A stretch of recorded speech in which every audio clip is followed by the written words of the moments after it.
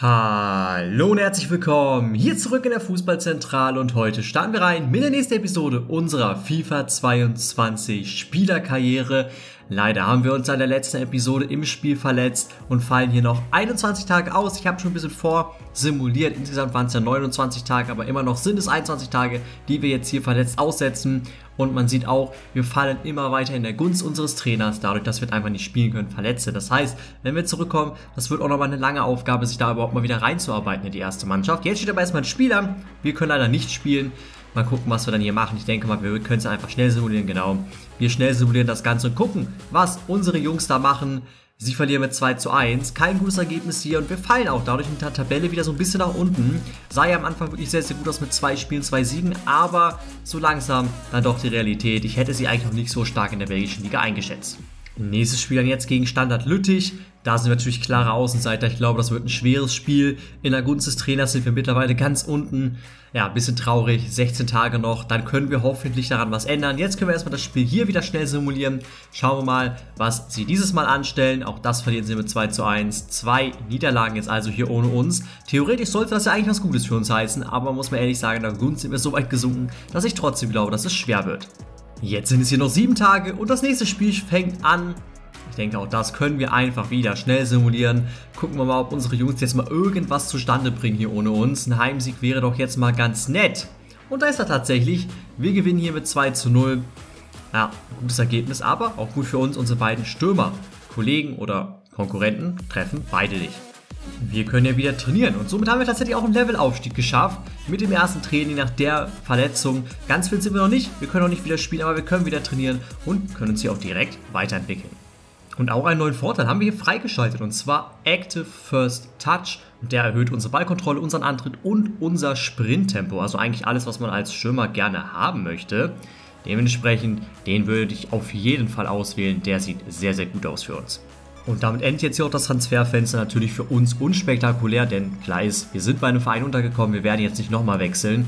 Dementsprechend, ja, keine große Neuerung jetzt hier für uns gute und schlechte Nachrichten hier für uns. Wir kriegen die Nachricht, wir sind wieder fit, kriegen aber auch die Nachricht unseres Trainers, dass wir aus der ersten Mannschaft komplett raus sind und er nicht mal weiß, ob ich überhaupt was für den Kader bin. Also dementsprechend, es wird echt schwer, uns nach dieser Verletzung wieder zurückzukämpfen.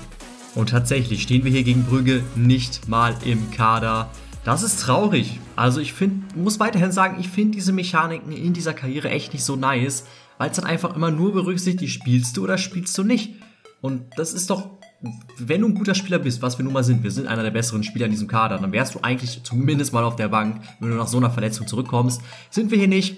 Dementsprechend können wir das Spiel nur schnell simulieren und hoffen, dass unsere Mannschaft da irgendwas Gutes leistet. Oh, werden wir mit 5 zu 1 abgeschossen. Klare Sache am Ende. Wieder trifft keiner unserer Kollegen im Sturm, also eigentlich gibt es keinen Grund, uns da wirklich nicht auf die Bank zu setzen. Und wir haben im Training wieder ein paar Skillpunkte bekommen. Die habe ich verteilt und mittlerweile sind wir auf einer 72er Gesamtstärke und wir sind zumindest wieder zu den Auswechselspielern aufgestiegen. Und damit starten wir jetzt hier rein ins Spiel, wo wir dann vermutlich unser Comeback geben werden. Nach der langen Verletzung stehen wir endlich zumindest mal wieder im Kader. Hoffentlich werden wir dann auch eingewechselt und können ein bisschen einen kleinen Impact haben auf das Spiel. Ich würde sagen, wir starten mal rein und gucken. Wir kommen hier rein. 84. Spielminute. Was soll ich denn in der 84. Minute noch machen? Aber es steht 1 zu 1. Wir könnten hier tatsächlich noch in den letzten, ja, gut 5 Minuten, die hier noch zu spielen sind, plus Nachspielzeit, es vielleicht tatsächlich schaffen, das Spiel noch für uns zu entscheiden. Hier werden wir jetzt also eingewechselt. Nach langer Verletzungspause von 4 Wochen geben wir jetzt hier endlich unser Comeback nach Einwechslung. Drei Pässe, das sollte möglich sein. Auch das könnte möglich sein. Spielerwertung von 7,0. Ah, wird, glaube ich, schon echt schwer, muss man sagen. Ich denke, wir nehmen mal das hier. Und dann gucken wir mal, ob wir hier tatsächlich noch einen kleinen Impact haben können im Spiel. Unsere Gegner kommen hier aber mit der ersten Möglichkeit. Bisher konnten wir noch nicht wirklich einen Impact haben. Man muss aber auch sagen, wir haben halt natürlich auch kaum Möglichkeiten, hier irgendwas zu leisten in den paar Minuten. Das wird eine schwere Aufgabe, hier überhaupt irgendwas aufs, aufs Parkett zu bekommen. Schöner hoher Ball jetzt hier von uns, unserem Kollegen, direkt in die Füße. Aber er verspielt ihn. Aber das war die erste gute Aktion von uns hier im Spiel, auch wenn uns das tatsächlich bewertungstechnisch irgendwie gar nicht nach vorne bringt. Nochmal eine Chance. Und wir gehen hier mit 2 zu 1 in Rückstand. Das muss man aber auch sagen, ist bisher verdient. Also unsere Teamkollegen kommen hier bisher überhaupt nicht ins Spiel. Da kommt ja gar nichts. Und wir haben halt natürlich auch keine Möglichkeit. Du kommst in ein Team rein, was bisher wirklich kein gutes Spiel macht und willst dann irgendwie was leisten. Aber klar, das ist dann auch nicht so einfach. Somit jetzt hier verdient 2 zu 1 hinten. Ja, es sieht so aus, als gäbe es die nächste Niederlage. Und damit ist das Spiel jetzt hier auch aus. Ich denke, am Ende holen wir uns eine 6,4er Bewertung. Das ist, naja, okay. Zumindest das Passziel müssten wir, glaube ich, abgeschlossen haben. Aber ansonsten muss man halt sagen, was willst du in 5 Minuten machen? Da ist es jetzt auch schwer, irgendwie was richtig Gutes abzureißen. Vor allen Dingen, wenn unsere Mannschaft so schlecht spielt, wie sie es aktuell tut. Dessen ungeachtet verlieren wir hier aber wieder 15 Punkte bei unserem Trainer und sind jetzt wieder in die Reserve zurückgerückt, wo ich mir denke so, ja, was soll ich denn tun? Ich spiele 5 Minuten. In 5 Minuten werde ich es ja wohl kaum irgendwie schaffen, mir wirklich was rauszuspielen. Also dementsprechend, ja, naja. Müssen wir wieder durchs Training wieder versuchen, in die Reserve zu kommen und dann mal vielleicht, wenn wir ein bisschen mehr Einsatzzeit kriegen, hoffen, dass wir irgendwie wieder in die erste Elf kommen. Aktuell läuft unsere Karriere gar nicht so, wie wir das erhofft hatten. Nächstes Spiel jetzt hier gegen Anderlecht, die sind Zweiter in der Tabelle. Das ist natürlich ein richtig, richtig schwerer Gegner. Wir sind wieder nur Auswechselspieler, aber immerhin haben wir es durchs Training geschafft, zumindest das zu sein. Ich würde sagen, auch da starten wir rein ins Spiel und wir gucken mal. Aha! Wir kommen beim Stand von 4 zu 0 in der 77. Minute rein. Das ist natürlich auch super dankbar. Aber ey, vielleicht können wir hier noch irgendwas machen. Ich würde sagen, wir starten rein und gucken mal, ob wir hier tatsächlich noch irgendwie einen kleinen Impact aufs Spiel haben können. Und hoffentlich zumindest das Ergebnis ein bisschen verschönern. Unsere Ziele hier für heute ein Tor oder eine Vorlage, nee, eine Vorlage generell machen, eine Erfolgsquote von mindestens 50% bei der Chancenverwertung und eine Spielerverwertung von Bewertung von 7,0. Ah, beides wird relativ schwer. Ich denke, wir nehmen das hier, aber ah, das wird alles nicht ganz so einfach, das wieder in der kurzen Zeit zu erreichen. Jetzt hier aber tatsächlich mal eine Möglichkeit. Schön herausgespielt. Wir waren da mit drin. Jetzt kann er den Ball doch rüberlegen. Er schießt. Das habe ich auch schön gemacht, würde ich sagen. Weil ich habe gesagt, er soll rüberpassen, dann im letzten Moment umentschieden, er soll schießen. Dadurch natürlich schon die Verteidiger zu innen, nach innen gerückt zu mir. Und er kann das Ding einfach oben einschweißen. Und wir machen tatsächlich noch ein Tor. Und wir, weil wir den Pass gespielt haben, kriegen sogar noch die Vorlage dafür. Damit haben wir tatsächlich eins unserer Ziele tatsächlich sogar abgeschlossen. Auch wenn das tatsächlich relativ wenig bei unserer Bewertung geändert hat, dass wir gerade eine Vorlage hatten.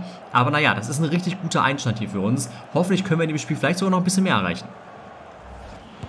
Anderlecht, auch nochmal mit einer Möglichkeit. Ja, mittlerweile schon wieder die 87. Spielminute. Also es ist halt einfach schwer in der kurzen Zeit wirklich einen Impact aufs Spiel zu haben. Aber immerhin haben wir ein Tor vorbereitet. Schöner Ball hier wieder von uns. Wunderbar gespielt. Jetzt kommt der Ball auf uns. Können wir daraus was machen? Ah, es war abseits. Schade, aber wir sind wieder gut drin. Also eigentlich sind wir hier wirklich ein belebender Faktor im Spiel. Nur das wird halt leider wieder bei der Bewertung nicht wirklich mit berücksichtigt. Und das Spiel ist hier aus. 4 zu 1 verlieren wir also. Was ein bisschen schade ist, wir haben eine 6,9er Bewertung. Wir sind halt wirklich an 0,1 Punkt vorbei an der 7,0er Bewertung. Damit hätten wir zwei positive Bewertungen hier gehabt und wären damit, glaube ich, dann auch tatsächlich positiv wieder gewesen. So werden wir wieder negativ beim Trainer auffallen. Was natürlich für uns schon ein bisschen bitter ist, muss man ehrlich sagen. Aber ey, man sieht hier, wir waren immerhin mit nur 6,9 tatsächlich bester Spieler bei uns im Team. Also das hat zwar auch keinen Einfluss auf unsere Bewertung, aber eigentlich können wir zufrieden sein mit der Leistung. Aber wie schon angekündigt, werden wir dadurch bei unserem Trainer wieder weiter fallen. Wir bleiben also Reservespieler oder Eiswechselspieler. Es wird echt schwer, da wieder rauszukommen aus diesem Strudel, weil du hast halt keine Möglichkeit. Du müsstest halt wirklich einen richtigen Sahnentag haben, um überhaupt eine Möglichkeit zu haben, aus der Reserve oder der Bank im Endeffekt, durchs Training werden wir wieder auf die Bank kommen, aber da irgendwie rauszukommen. Nächstes Spiel, nächstes Muster. 76. Minute kommen wir rein und jetzt sogar noch als ZM. Ich krieg die Krise. Wie wollen wir denn irgendwie aus diesem Strudel rauskommen? Wir versuchen es jetzt natürlich als ZM, aber sind wir mal ehrlich, dass wir als ZM die Tore machen, um ansatzweise da rauszukommen aus diesem Strudel, ich weiß ja nicht. Schauen wir uns mal unsere Ziele an. Spielerbewertung von 7,0. Erfolgreiche Dribblings, das kann tatsächlich funktionieren. Und ein Tor von außerhalb des Strafraums, äh, davon bin ich jetzt noch nicht so ganz überzeugt. Wir nehmen das mit den Dribblings und schauen mal, ob wir hier tatsächlich was erreichen können. Erstmal eine Ecke. Perfekt, wir kommen rein und wir gehen mit 1 zu 0 in Rückstand. Das ist ja mal der Einstand, den man sich hier erhofft hat. Es geht also auch weiter mit dem Negativstrudel hier von uns. Generell, die ganze Mannschaft spielt einfach schlecht. Wir haben natürlich auch keine Möglichkeit, irgendwas zu ändern, weil wir einfach nicht genug Einsatzzeit bekommen. Das ist auch gar nicht die Laie, die wir uns so vorgestellt haben, das ist auch klar. Man lässt sich von Liverpool ausleihen in die belgische Liga, um Einsatzzeit zu generieren und nicht, um hier auf der Bank zu versauern und dann in der ja, 76. Minute als ZM eingewechselt zu werden. Jetzt kommen wir hier. Schussmöglichkeit. Ja, wir versuchen es mal aus der zweiten Reihe. Unser Ziel ist ja, ein Tor aus der zweiten Reihe zu erzielen. War natürlich hier unser schwacher Fuß, das muss man auch sagen. Aber gar nicht mal so ungefährlich. Zumindest mal eine Annäherung. Aber wir kommen hier. Schön gemacht. Jetzt der Ball. Da sind wir. Da sind wir. Abstauber als ZM. Sind wir in Mittelstürmerposition. Zeigen, was wir können. Und wir machen das Tor. Da ist es, das lang ersehnte Tor. Ich habe es gesagt, wenn wir aus diesem Strudel rauskommen wollen, von der Bank brauchen wir ganz dringend Tore. Und hier ist es. Abschluss hier von unserem Teamkollegen. Torhüter ist nicht sattelfest, kann den Ball nicht festhalten. Und das Ding fällt uns mal direkt vor die Füße. Wir sind da und netzen ein. In Mittelstürmermanier passen wir da gut auf und hauen das Ding rein. Im Übrigen war das, glaube ich, gerade unser erstes Tor generell hier für unseren neuen Verein. Also dementsprechend das ist vielleicht der Einstand. Vielleicht ist genau das das, was wir gebraucht haben hier, um jetzt dann richtig anzugreifen, auch in der belgischen Liga zu zeigen, was wir eigentlich wirklich können. Schön gespielt. Und wieder sind wir in Mittelstürmerposition frei. 2 zu 1. Wir drehen das Spiel her. Und wir sind hier der Mann des Spiels. Das kann man ganz klar so sagen. Kommen hier rein, machen zwei Tore Richtig schöner Angriff. Auch perfekt in die Spitze durchgestartet. Als ZM muss man so gesagt sagen. Da spielen wir gerade und machen das richtig, richtig stark hier. Wunderbarer Angriff. Wunderbares Tor. Und das muss es doch jetzt in der Gunst des Trainers wieder ein bisschen nach oben bringen. Jetzt marschieren wir hier die rechte Seite runter. Da kann unser Gegenspieler nicht wirklich mithalten. Ah, gute Flankenmöglichkeit. Leider nicht ganz punktgenau. Und das Spiel ist aus. Wir beenden das Spiel hier mit zwei Toren, einer 8,6er Bewertung und einem richtig, richtig guten Spiel. Ich weiß nicht, was unsere Ziele angeht. Da müssten wir äh, eventuell tatsächlich keins haben. Ich weiß da doch, wobei die 7,0er Wertung haben wir auf jeden Fall. Die anderen weiß ich tatsächlich gerade gar nicht. Naja, Spielerbewertung haben wir und erfolgreiche Dribblings haben wir abgeschlossen, Weitschusstreffer natürlich nicht und wir sind der Man of the Match geworden. Hier seht ihr die Trophäe, bringt uns allerdings nicht mal in die Startelf, das bringt uns nur ganz knapp auf eine Auswechselposition, also ich sage da mal nichts mehr zu. Aber ey, es ist zumindest ein guter Anfang, wir arbeiten uns so ein bisschen langsam wieder in die Mannschaft rein, haben ein richtig gutes Spiel gemacht, unsere ersten zwei Treffer hier für unseren neuen Verein auch endlich markiert und somit denke ich, dass wir da weitermachen können. Ebenfalls haben wir wieder vier Skillpunkte zu vergeben, das kann uns natürlich auch nochmal ein bisschen pushen. Nächster Gegner wäre dann hier Brügge. Ich würde aber sagen, dass wir das Spiel dann schon in der nächsten Episode angehen. Da sollten wir dann auf jeden Fall klare Auswechselspieler sein. Vermutlich auch ein ganzes Stück früher hoffentlich jetzt mal reinkommen. Und dann vielleicht auch mit der Leistung, die wir im letzten Spiel gezeigt haben, daran weiter anknüpfen. Ich denke, dann haben wir auch eine gute Möglichkeit, hier was zu machen. Auch der Negativstrudel von unserer Mannschaft wurde ja aufgefangen.